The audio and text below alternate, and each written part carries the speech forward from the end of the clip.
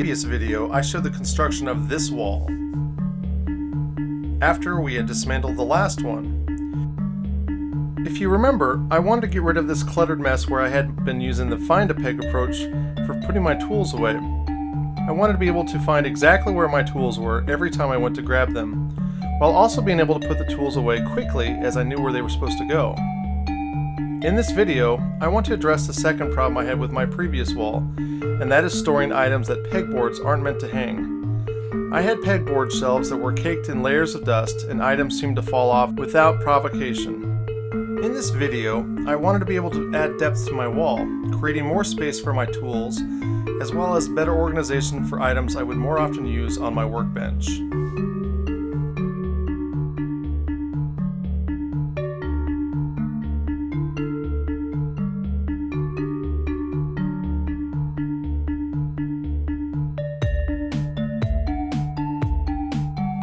This was my idea. By carefully cutting into my creation, I could install an in-wall cabinet.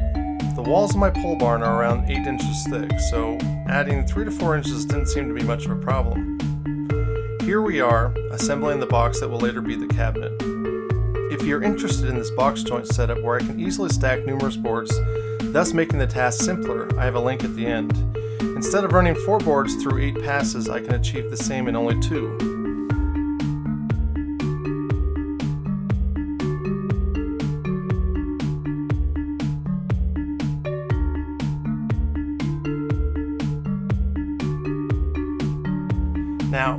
I cut into the wall, I really wanted to make sure that the box I was inserting would match the carefully drawn lines I had already placed on the wall.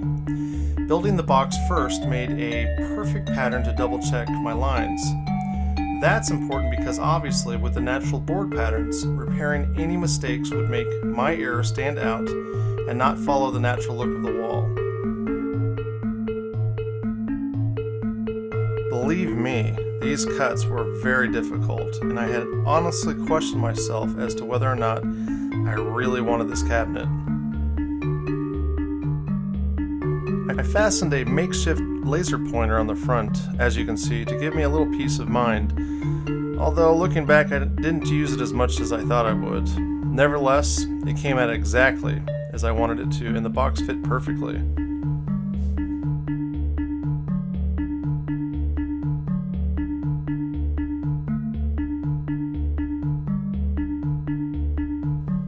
I created a rabbet joint on the back of my cabinet for a piece of panel backing and borrowed the butcher's chisel to clean up what my router left behind.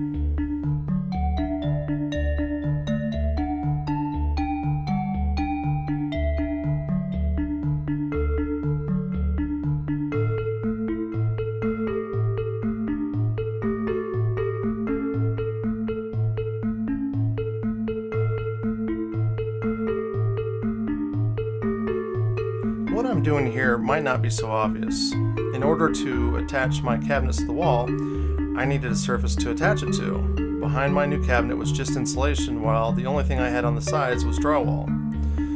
Adding these boards was crucial in that it gave it a surface to adhere to.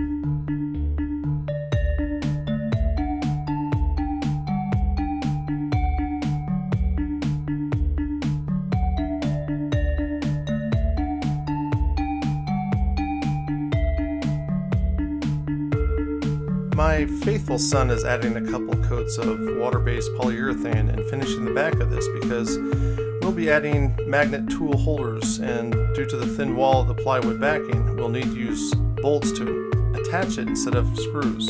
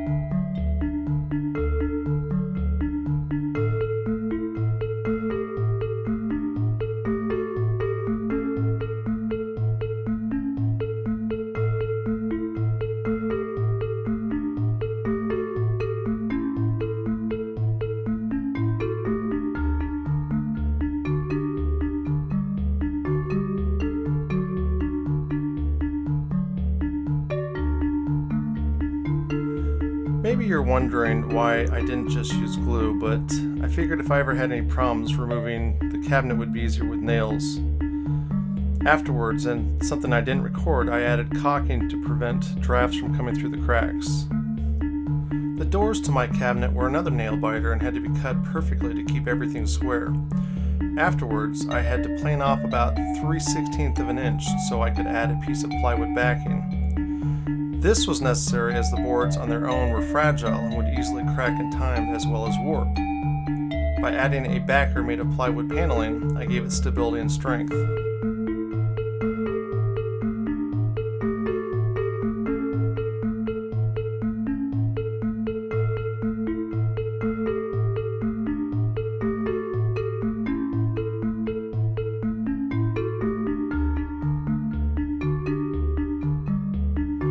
Because I made sure there was an overhang when I glued the backing, I flush cut that off with the router. Now, let's look at the original plan. This is what I had planned. But then I decided in the future I'd love to have the workbench below accept bench dogs. Adding a second cabinet could be dedicated just for those tools and would be convenient next to my chisel cabinet. Because it is entirely the same as the other, I won't be showing that construction. I could have put some cheap broad butt hinges on, and it might have been okay, but I chose to use these piano hinges for two reasons. Due to the natural way that the 1x4s warp, besides just the plywood backers, I felt like I would need the continuous length of steel to keep the doors straight. The second reason, and maybe the more important reason, is that I plan on putting objects on the doors that will have weight and felt like the strength of a piano hinge would be necessary. I used my marking gauge and ran a line through the absolute center of the edge of the board and then traced a pencil through it. I used my hinge as a pattern and marked the cross marks so I could drill my holes.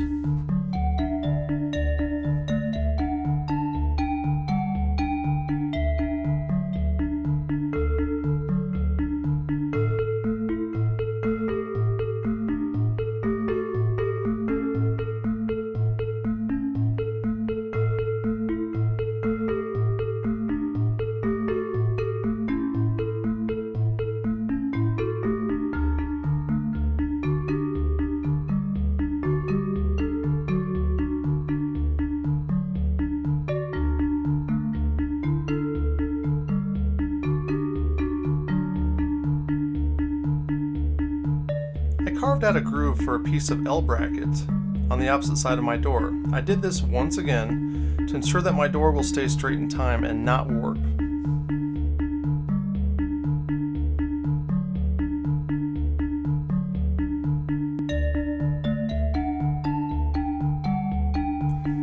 Measuring the middle of the width of my door edge, I copied that same width to my wall which allowed me to know exactly where to drill my holes for the opposite side of the piano hinge.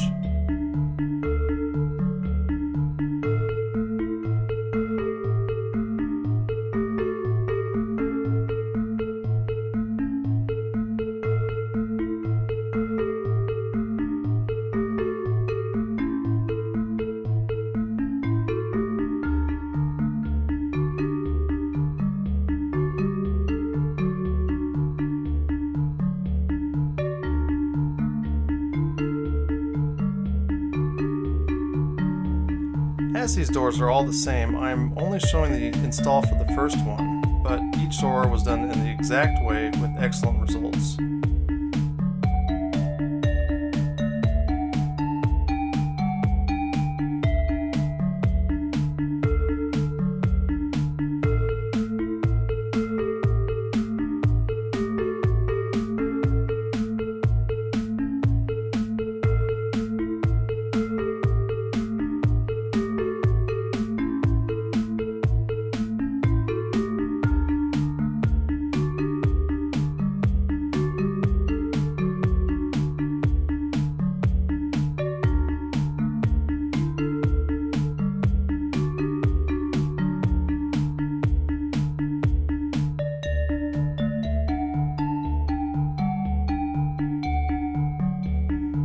Have one more brick to throw at this wall in the third of this series, and I feel like the way I'm going to approach tool placement in that video will be something that has not been tried before. So stay tuned and thank you so much for watching.